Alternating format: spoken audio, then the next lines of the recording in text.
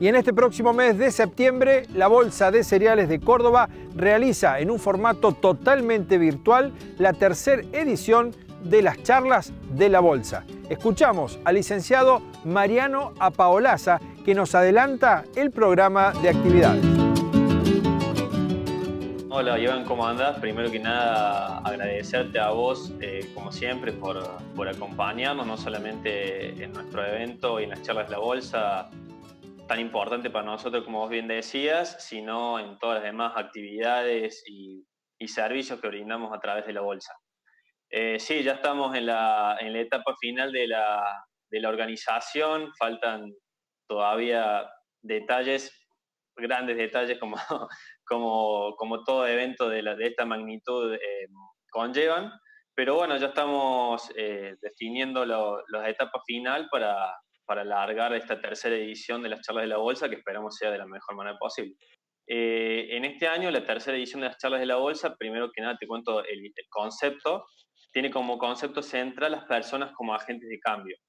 ¿Qué quisimos decir con esto? Que las personas constantemente, constantemente están em, implicadas, están envueltas en distintos tipos de cambios y no como algo pasivo, no como algo que le pasa por el costado, sino que somos eh, testigos, somos protagonistas, somos traccionadores de, esos cambios que pueden ser sociales, económicos, productivos, eh, políticos. Y justamente en base a eso nosotros intentamos eh, dividir estas charlas, en donde en un primer día, en un primer eje,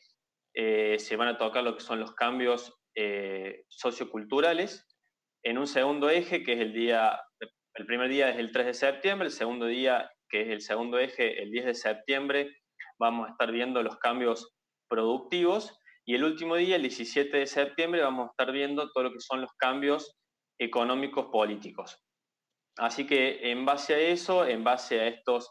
distintos cambios que las personas están eh, envueltas, dividimos las charlas. Si bien eh, somos una institución muy este, identificada con un sector, lo que intentamos justamente con, esta, con este evento es llegar a todas las personas, sean o no eh, del sector agropecuario. Cada eje, cada cápsula, como le llamamos nosotros, está, va a estar eh, representado por, por, tres disertantes. El primer eje, que son los cambios, eh, los cambios socioculturales, perdón, que va a ser el 3 de septiembre, va a estar representado por Celsa Bernard,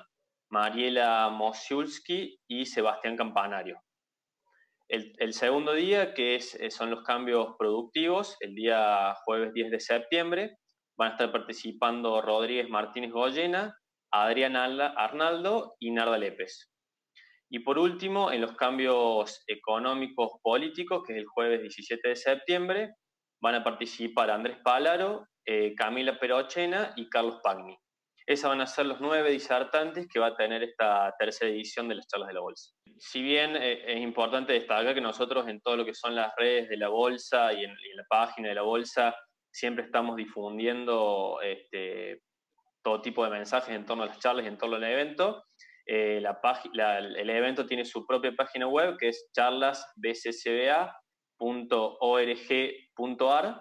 en donde ahí podrán eh, inscribirse, no solo inscribirse, sino también ver esto que les contaba recién de los disertantes, de los ejes, del concepto, de qué se trata, de aquellas instituciones que nos potencian y nos acompañan. Y algo importante destacar, que, que también es algo interesante del evento, es que en la misma página web eh, nosotros tenemos un, un, convenio, digamos, con el Banco de Alimentos de Córdoba, en donde toda persona que, participe o que pueda, nosotros le llamamos entrada libre, gratuita y solidaria,